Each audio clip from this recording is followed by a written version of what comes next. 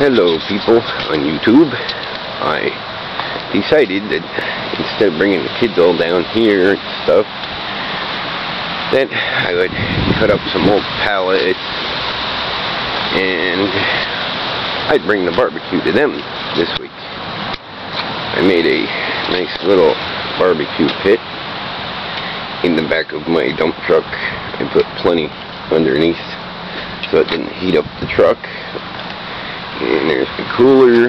There's all the pallets cut up. I'm ready for a barbecue. I just gotta stop by the store quick and grab some goods.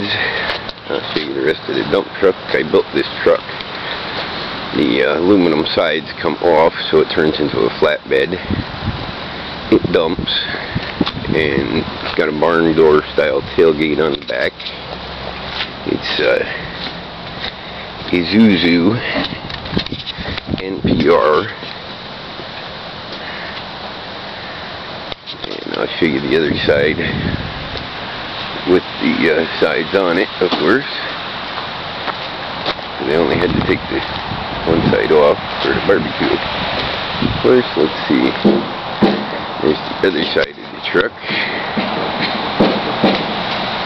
Well, I'm at it since I'm right here. Might as well show you guys my tractor I built. This is a Ford 1210.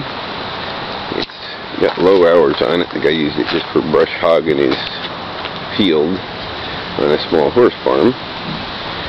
And I picked up I picked up a brand new Cub Cadet loader from a dealership. Um, I made these nice mounts. These are actually a lot heavier and nicer than the Cub Cadet one. And uh, I bought a new valve. Of course, I made a nice little pedestal for it. Bought a new valve, and it's all quick connect. I can flip this loader right off of here and quick connect it. It slides out the front right here. You just got to pull them two bolts out, and it comes right off the tractor. And of course I had to turn the muffler upward because it used to face forward.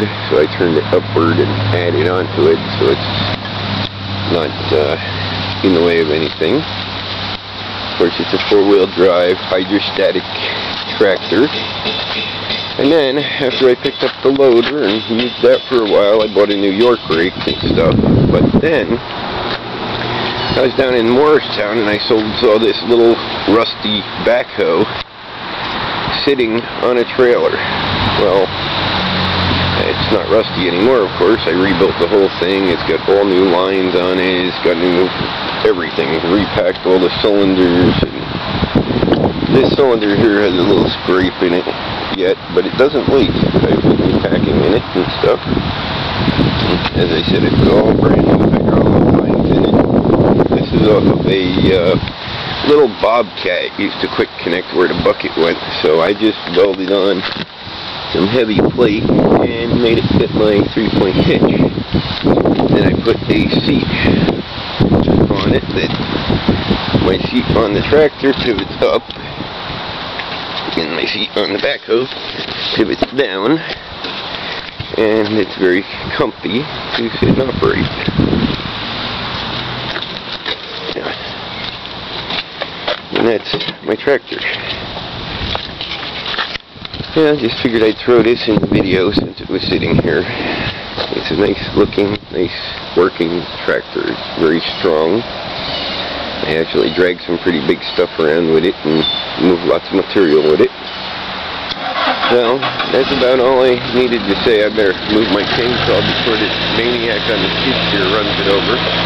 Well, have a good day, people. Bye.